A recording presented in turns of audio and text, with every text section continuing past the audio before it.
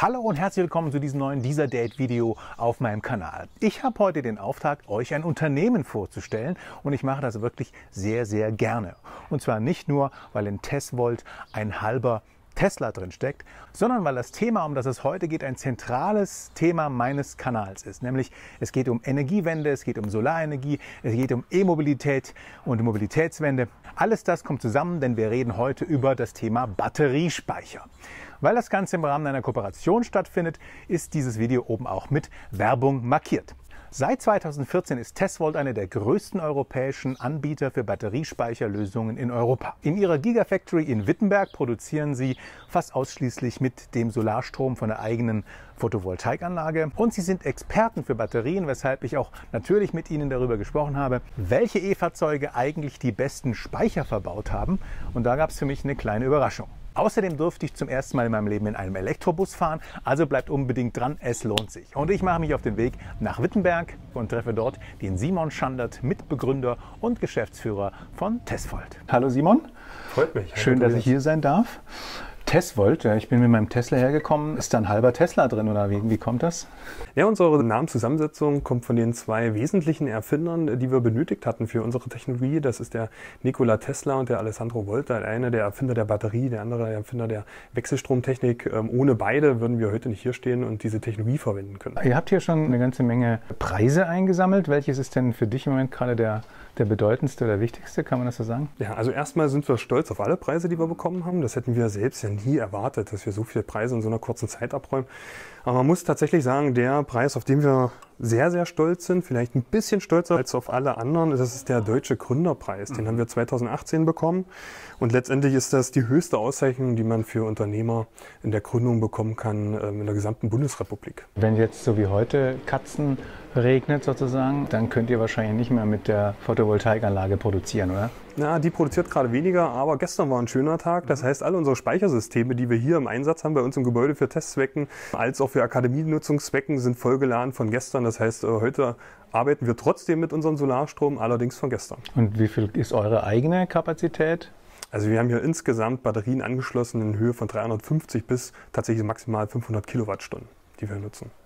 Das ist äh, einer unserer Hauptprodukte, das ist der TSHV 70. Hier haben wir bis zu 76 Kilowattstunden drin, dass man das mal so ein bisschen vergleichen kann, ein bisschen nutzbar machen kann. Damit kann ein Einfamilienhaus fast die komplette Woche völlig autark leben. Ja, also ich vergleiche das mit dem, was bei mir unten im Boden liegt bei meinem Auto und das ist ungefähr ziemlich genau so viel. Ne? Genau, richtig. Hier steht ja noch so ein ganz schickes Modell, Test World heißt es und da kann man sehen, was man mit euren Speichern so alles machen kann. Ja, wir haben eine eigene ähm, Augmented Reality App entwickelt, die kann man sich in jeden App Store runterladen und da wollten wir eigentlich mal zeigen, was kann man mit Speichern alles machen. Wozu sind Speicher denn da? Zum Beispiel für Off-Grid-Anwendungen, wo einfach eine Hütte gar keinen Netzanschluss hat, äh, kann man mit unseren Speichern sich überhaupt erst äh, Strom zur Verfügung stellen. Oder aber auch eine Speditionsbetrieb, der nur einen begrenzten Netzanschluss hat und wenn er jetzt Elektro-LKWs hat zum Beispiel oder seine ganzen Angestellten auf Elektroautos umstellt, habe ich auch hier eine Begrenzung des Netzbezugs aber auch einen hohen Leistungspreis. Ähm, um den zu reduzieren, um da eine ideale Wirtschaftlichkeit hinzukriegen, benötige ich Speicher, um diese Lastspitze dann entsprechend auch kappen zu können. Oder aber auch ähm, im landwirtschaftlichen Bereich, um wenn Netzausfälle zum Beispiel existieren, um wieder Strom zur Verfügung zu stellen, wenn auch der öffentliche Strom äh, sozusagen weg ist. Also einen der Kunden kennen viele von euch, die Tesla fahren, nämlich es gibt äh, den neuen Ladepark Hilden ja. und da stehen von euch zwei fette Kisten mit wie viel Kapazität? Ja, also wir haben zwei 20-Fuß-Container dort stehen, die jeweils eine Megawatt an Leistung geben und Kapazität, um, um den Netzanschluss zu erweitern, mhm. sodass, wenn alle Ladesäulen voll sind, die Teslas dann auch mit der vollen Leistung beladen werden können und nicht im Prinzip die Beladung an den Ladesäulen reduziert wird. Und da gibt es noch einige weitere Anwendungsfälle. Und zu einem, mir reicht es nämlich hier bei euch in dem Regen, da fliege ich jetzt einmal mal kurz hin. Zwar nach Bad Langensalza zu Salza Tours. Die haben nämlich Elektrobusse, die sie mit diesen Speichern hier auch laden und betreiben. Salza Tours gibt es schon seit 1949. Zwar nicht als Salza Tours, aber als Firma König. Familienunternehmen hat mein Opa gegründet.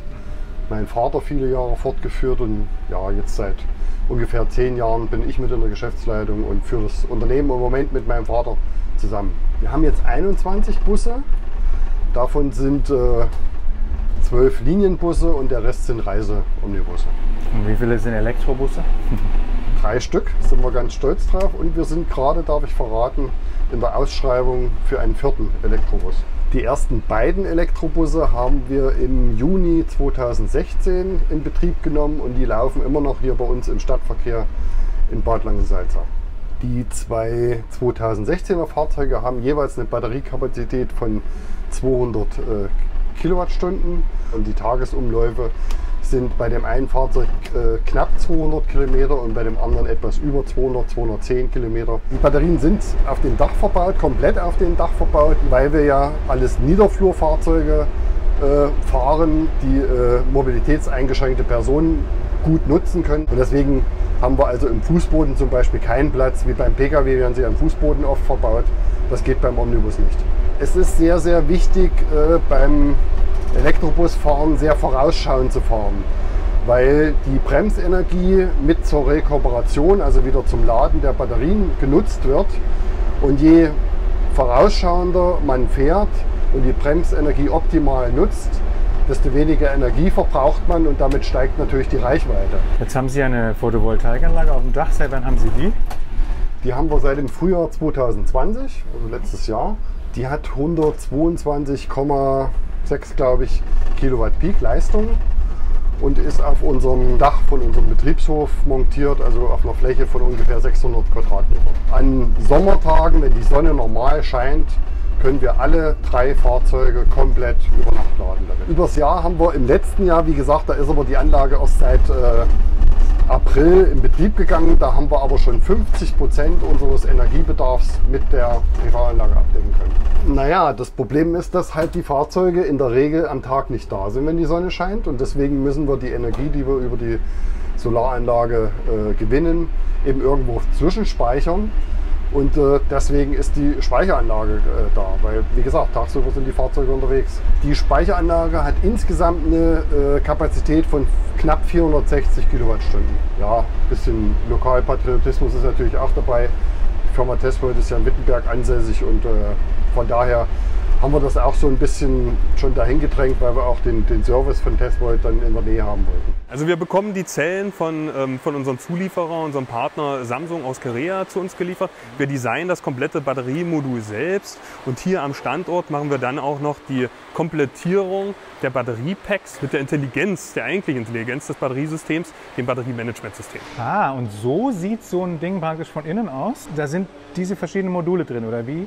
Genau, also letztendlich hat ein so ein Batteriemodul von uns, also dieses Batteriemodul, ungefähr 5 also fünf Kilowattstunden. So groß sind diese Zellen, die wir im Einsatz haben. Also wir haben 14 Zellen hier in Serie miteinander verschalten.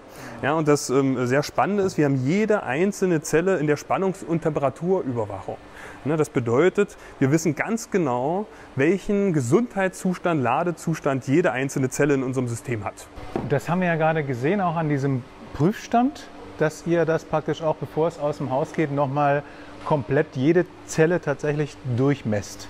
Ja, also wir überlassen nichts dem Zufall. Also wir machen hier eine 100% Prüfung. Jede einzelne Zelle, die unser Haus hier verlässt, ähm, prüfen wir komplett auf alle Parameter durch. Was sind denn Unterschiede von Batterien beziehungsweise von dem, was ihr jetzt baut und was bei mir im Tesla unten äh, im Boden drin ist? Wie eben schon erwähnt, gibt es Unterschiede im Bereich der Bauformen. Ja, zum Beispiel ist das eine prismatische Batteriezelle. Tesla verwendet ja vorrangig auch Panasonic-Zellen und das sind diese Rundzellen, die der Tesla. Was, so kleine Zellen sind da drin?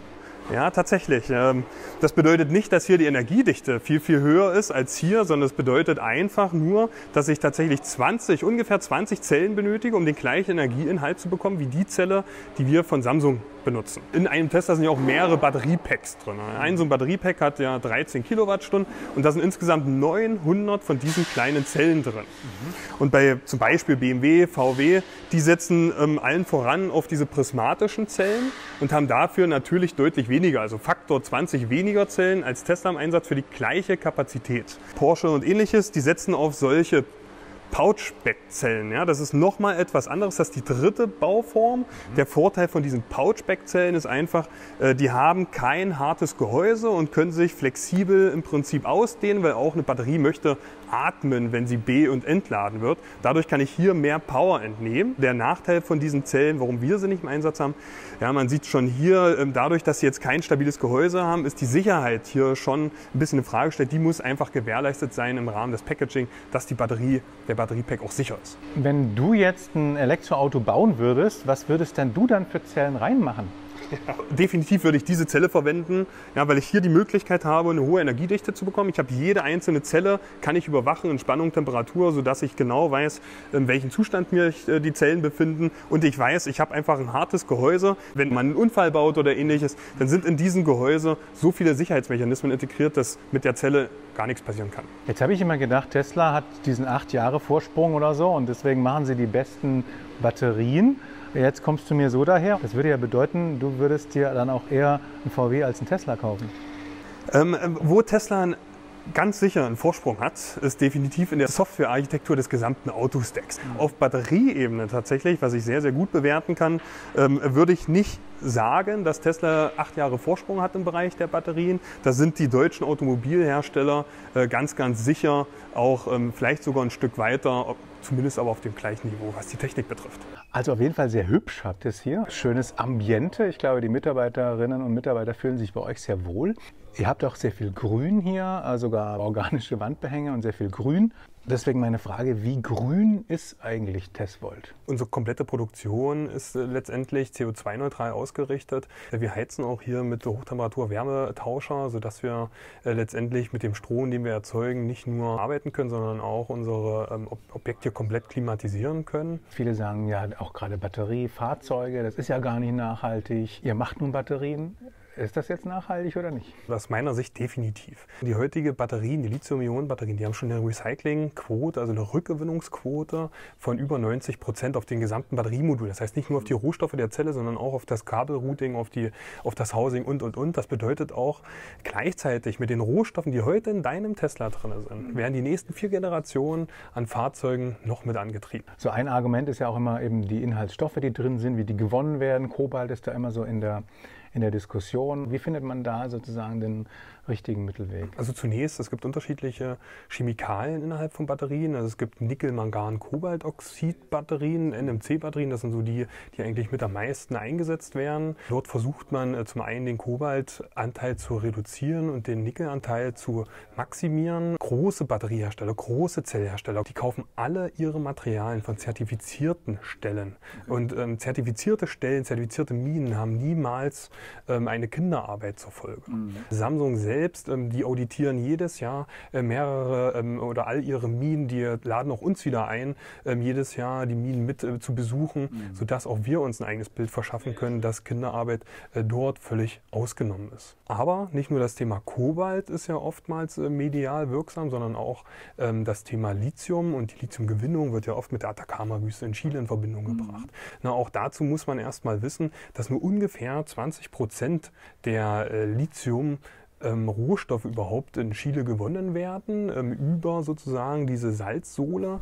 Ähm, äh, der Großteil, über 50 Prozent, ähm, kommen aus äh, Bergbau in Australien. Das heißt völlig un problematisch für das Grundwasser. Aber nochmal kurz auf Chile zurückzukommen. Dort werden letztendlich ähm, Salzwasserlachen ähm, sozusagen hochgepumpt. Das bedeutet, das ist auch kein Süßwasser, Grundwasser, was man irgendwie zur Agrarproduktion oder ähnliches nutzen könnte. Das heißt, es ist eigentlich auch gar nicht nutzbar. Und dann muss man auch wissen, nicht 100% aller Lithiumvorkommen werden in Batterien gepackt, aber oftmals bringt man Lithium mit Batterien in Verbindung. Das ist nur zu einem Drittel so. Ein Drittel wird Lithium auch benötigt für Glas- und Keramikproduktion. Ja, vielen herzlichen Dank für diesen Rundgang. Ich hoffe, ihr fandet das ebenso interessant, vor allem diese kleine Episode auch über die Elektrofahrzeuge wie ich.